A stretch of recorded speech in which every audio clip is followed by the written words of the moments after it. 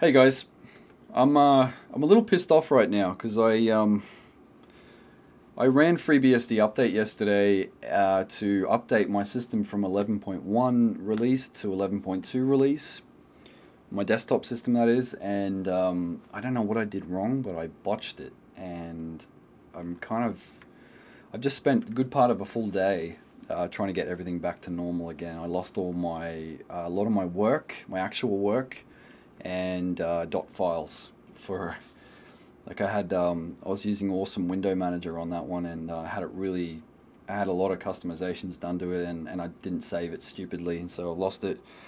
So anyway I'm, I'm here now on a fresh install. Um, I thought I'd just talk about really quickly um, Newsboat as a sort of as a front page to the internet um, because I, I use it and I, I think I don't think a lot of people realize it's not just an RSS feed reader. It's not just for it's not just for following blogs. You can actually um, well, I mean, it's pretty well known that you can follow podcasts in it as well. So you can use an RSS uh, feed from a blog to follow blog posts as normal as you can in any other RSS reader uh, feed reader. Um, but you know, with podcasts, you can also um, you can also subscribe to podcasts. You can go in here. You can. Um, it has a, a program that's kind of part of it called uh, Podboat. So you can enqueue a podcast like this, then run Podboat like so, and um, oh, where is it? Anyway, so you can come in here, you can download it, and then you can play Why the file. does my daughter need to know the surface area of a rhomboid? Um, really cool for podcasts. But the thing I guess I want to talk about um, today is uh, YouTube and Reddit because uh, you can actually subscribe to YouTube channels as well with um, with Newsboat. And uh, the the way that I do this, I'll show you first of all it in action. Um, if I come in here and I go to one of this guy's videos, I can press on the um, I've got a keyboard macro set up for MPV. And what it will do is actually stream the YouTube channel directly in MPV right here. I have the CCR. And yeah, so I never real I never actually have to go into YouTube in my browser. Um, the the whole moral of the story is you can just you can add it here like, and I'll show you how I do that. If I come over to this channel, I was just on Kai Hendry's blog then, um, sorry YouTube channel then, and and added that one, but I'll add this one here as well.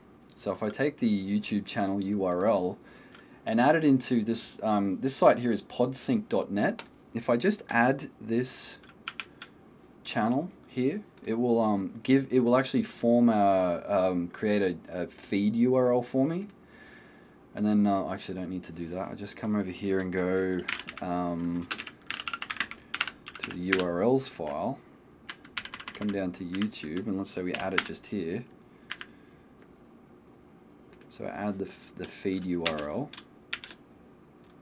And then um, if you do, um, if you put a custom name in um, quotation marks, you've got to put a, a tilde mark at the beginning, like so. So I usually, I just label it YouTube and then I'll put, um, this one's TG Logan, like so. And then if I save it, I have to get out of Newsboat and reload it. You see, it's added the, the new YouTube channel here. It'll take a little while to um, to update. Um, yeah, so you can you can watch YouTube from here. Um, uh, pretty straightforward. I don't know uh, I don't know who owns this website, but it's super useful. Maybe there's an easier way to get a feed out of a YouTube channel URL, but this guy has made it possible. Um, made it easy rather. Um, I'll just wait for it to to reload, and you can see. Um, I've got it um, capped at 20, um, 20 items too, because otherwise it just takes forever. As you can see down here too, there's a, a I've set up a dunst notification, so every time there's a an unread, like when it reloads and is, has unread articles, I get a little notification in the corner. Um, so yeah, th and then I've got this here and can do the same thing again with the keyboard macro. I'll show you how I set that up. So this is all on their uh, on their their Git too. The the instructions for this. So all I did. So for notify program, I use notify send um, to get that dunst notification. But then down here in uh, external programs, you want to set player to MPV. Um, I use the text-based browser W3M because I don't want a Firefox instance popping up every time I open something. And um, and this is how I set the macro, and this is all on their uh, on their Git README. Um, so that's for that's for YouTube.